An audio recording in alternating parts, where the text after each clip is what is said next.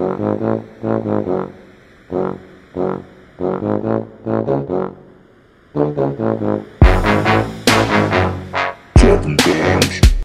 hello, I'm Miha the Trash inače, ali danas sam hairstylist. Zašto sam danas hairstylist? Zato jer ću vam pokazati kako napraviti ovaj predivni, sexy, motherfucking, beautiful, fucking sex... What? Nastavi. O čemu smo pričali? Oh, um, this hairstyle. ovaj hairstyle je uistinu poseban i uistinu zahtjeva jako puno rada, truda, vremena, znoja, krvi. Literally krvi, like blood sacrifice, bitch. Like, this is not possible without blood sacrifice.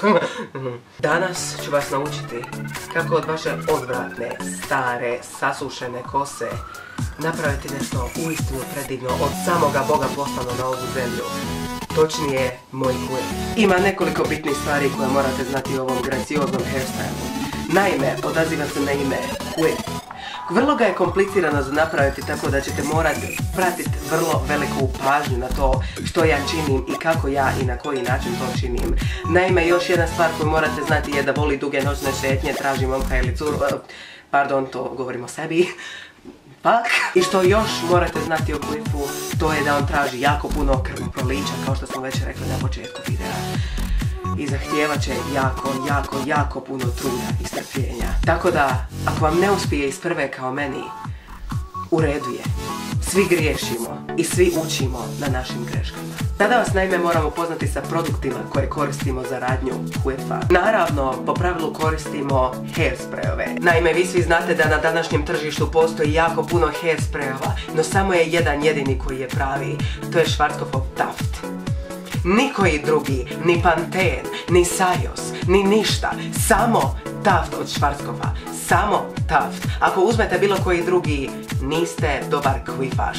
Ne može ništa drugo, samo Taft. I svi ostali koji koristite Panten, Sajos, koji je kurac. Ok, ne smijem, ne smijem se rentat, ne smijem se rentat, izgubit ću poglede. E, u redu je ako koristite Sajos ili Panten, u redu je. Nije u redu. Sada, kada sam vas upoznala koji hairspray treba koristiti, sada su nam bitni ingredijenti za rađenje vašeg kuifa. Naime, morat ćete koristiti jednu vrlo, vrlo, vrlo dobru četku koja je vrlo čvrsta i koja može podnijeti sve to što vi radite sa vašom kosom. Zatim trebate uzeti, kao što sam već rekla, vrlo kvalitetan tough spray i ne ubiti se sa fumes koji dolaze iz toga because bitch, that is toxic. I još na kraju morate uzeti jednu predivnu gumicu za kosu, boja vas se zelje, tako da ne morate to gledati. Ali sada, kada sam vas upoznala sa ingredijentima, bitno je prijeći na onaj glavni dio ovoga videa, dio gdje vam ja pokazujem kako raditi quick. Tako da pazite, držite pozornost, jer će biti teško. Još vam jednom reći, nije lako. Nije. Nije lako.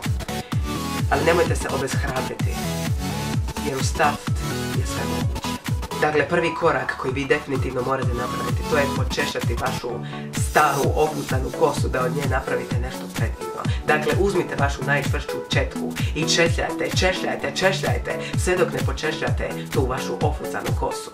I zatim ćete prijeći na sljedeći korak. Dakle, sada naime kada ste raščešljali vašu kosu, sada dolazite do drugog koraka koji je opet usko vezan sa češljanjem, no to je da svu vašu kosu povučete iza i da odvojite vaše šiše. By the way, prije nego što nastavimo dalje, ja vas moram upozoriti da ovaj Quip hairstyle, ovaj točno tutorial radi na šiške koje su duljine do ovdje. Tako da ja nikada nisam radila sa preko šiškama, ali u istinu sigurna sam da se to može napraviti ako vjerujete i ako imate taft. Hashtag no spons. By ako me taft ne sponzorira pizdalin materna, ono da jednim besplatnu reklamu, čao Taft, gdje si? Halo? Dakle, sada vi češljate tu vašu kosu nazad, tu vašu staru, staru, staru kosu i činite od nje nešto predivno. Put ka sreći, put ka ljepoti i odvajate te vaše opucane šiške. Tako da, sada, kada imate to što sam tražila od vas, možemo slobodno prijeći na treći korak. Treći korak je naime uzimanje vaše gumice za kose sa preferiranom bojom, jer naime morate zavezati svoju kosu, jeli bože moj, nemojte kvit bez zavezane kose, nećemo tako. tako da uzmite vašu najdražu gumicu i pripremite se za vezanje vaše kose, to je za četvrti korak. Četvrti korak je korak u kojem vi vezujete vašu kosu. E sada to opet možete na preferirani način, možete napraviti punčicu, možete vezati rep, možete napraviti bananicu kao što ja radim. Ali nije bitno, bitno je kako izgleda vaš kujet. Nešto se nalazi iza, bitno je ono što je ispred. Sada kada vi radite vaš rep, ako ste smotani kao ja, vjerojatno će vam trebati 644 godine da napravite ovaj rep kao što možete vidjeti u trenutnom trenutku. No to nije moja krivica, to je naime krivica moje desne ruke, zato imam problema sa desnom rukom. I swear, I swear I'm not usually like this, bitch. I can, I can tie my own ponytail, I can tie my own punja. This is not my fault. O, vidi, vezala sam. O, vezala sam kosu. Oh, that's good. Oh, fish, yeah, bitch. Sada, naravno, kada ste zavezali vaš rep, bitno je uzeti vaš vjerni taft. Jer sada, sada ćete vi koristiti taj taft u svrhe kakve nikada prije nije bio korišten jer se inače hairspray ne koriste za sprejanje kose like what the fuck Karla, ok? Dakle sada dolazimo do sljedećeg koraka koji je naime uzimanje vašeg taft spreja i sprejanje vaše kose sa strane kako biste pokupili sve one dlake koje su izletile iz te vaše stare opucane glave.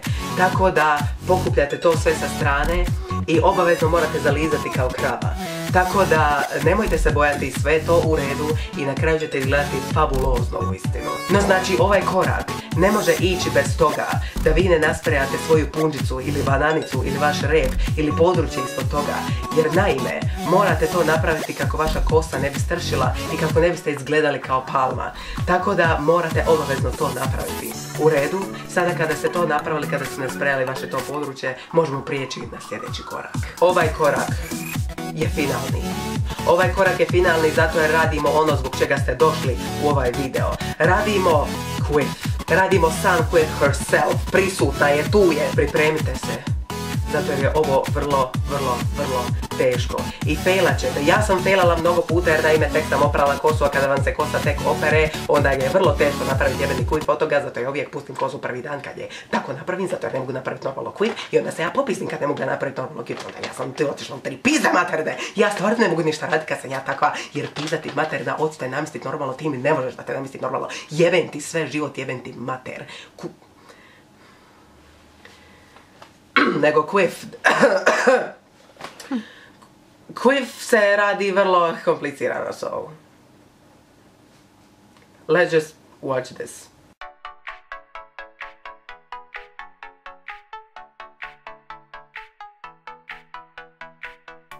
Naime, kao što vidite, ja gubim sve svoje živce trenutno sad ovdje, zato jer ne mogu napraviti ovaj quip. Rekla sam vam da je teško, vi mi niste vjerovali. Vi mislite da je ovo bači kaše napraviti. Vidite vi koliko puta ja moram jebeno zalizat moju jebenu kosu, da ona funkcionira kao božje biće zapovjeda. Ja ne mogu ovo sada napraviti. I naravno, kada popizdite šta ćete drugo napraviti, morate promijeniti jebenu četku. Evo ja sam u ovom trenutku videa skontala da meni naime treba ta manja četkica od koje sam pričala, ja sam otišla nju uzeti, evo sad je tu trenutno možete vidjeti. I sada me čini da bi s ovim bilo puno lakše. Naime, evo da vam odmah kažem, kada ste otprilike zadovoljni, kada ste našli poziciju kako treba izgledati vaš quiz, vi trebate malo nasprejati to područje tako da se to područje učvrsti to treba biti tako, to treba biti tako tu prisutno. No, naime, eto, pošto sam rekla da sam ja tek oprala kosu, apsolutno ništa ne radi i vidite koliko god ja pokušavam napraviti moj jebeni klik pizal materna, on jednostavno ne želi biti na istom jebenom mistu i to mene tako ljuti. Uh, uh, pardon, ljuti, uvijek. Nije se ho, našli smo nešto što bi moglo priličiti tom našem, to, to, našoj finalnoj figuraciji ovoga čega postoji. Naime, sada kada ste otprilike zadovoljni s time, morate napraviti finalnu formu svega toga. Tako da, sa češljem ili sa četkom ili čime već formirajte oblik koji vi želite formirati. Vi sada našpricajte tri tone ovoga jebnog hairspraya da vam sve stoji na jebenom mistu. I ako na kraju niste zadovoljni onda jebi ga sve u pizdu materno otišlo u kurat, znači ja sam ovo radila za tri pričke materne.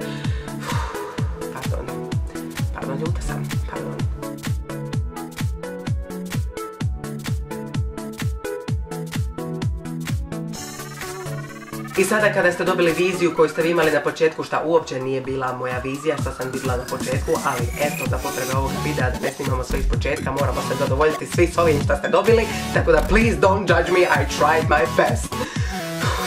Sada kada imate to, ovo je finalni produkt svega toga.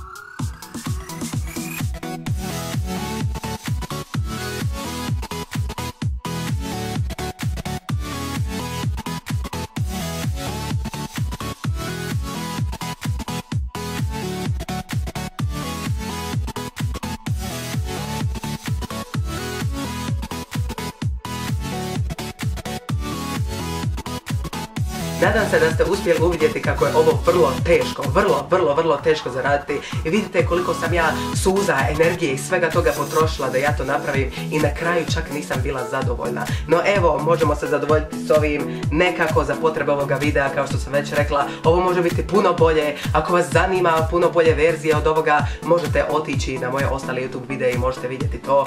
I također, ali sada ozbiljno, ako hoćete raditi ovaj hairstyle, nemojte staviti pun kurac hairspraya zato jer to nije dobro dobro za vašu kosu. Šiške vam moraju biti do tu, otprilike. I ja sam sigurna da vi to možete napraviti i kada vam kosa nije friško oprana, onda vam se lipo hairstyle baci na jednu ili na drugu stranu, kako god vi hoćete. Ali sada, pošto je tek oprana, jednostavno ne želi pizdaju strinina.